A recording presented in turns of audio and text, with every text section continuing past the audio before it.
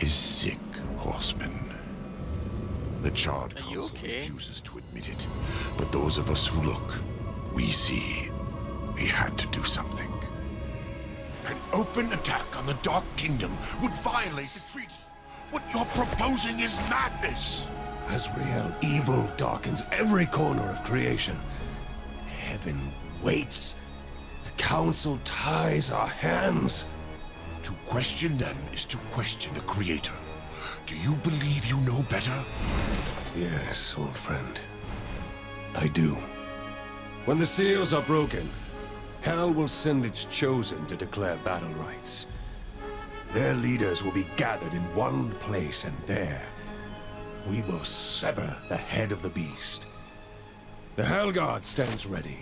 Breaking the seals will trigger the End War. The Kingdom of Man is not yet strong enough. Earth will be destroyed.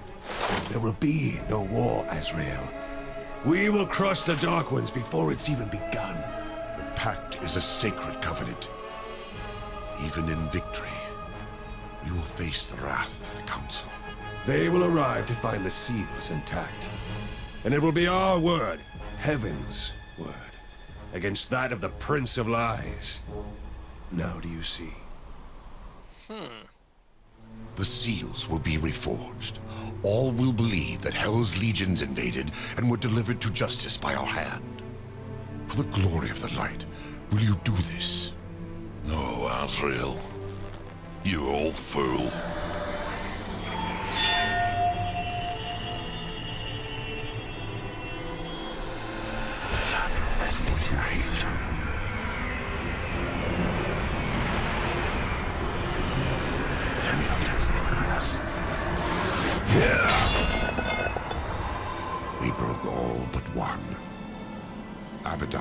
The final seal not be harmed.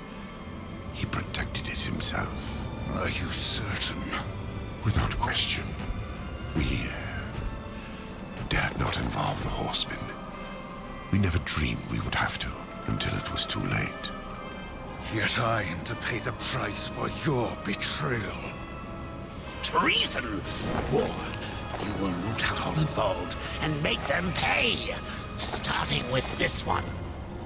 No. Fool! You deny the will of the Council? Maybe. You heard the Angel's confession. My service to the Council is ended.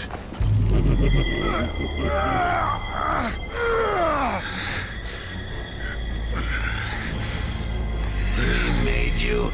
We own you.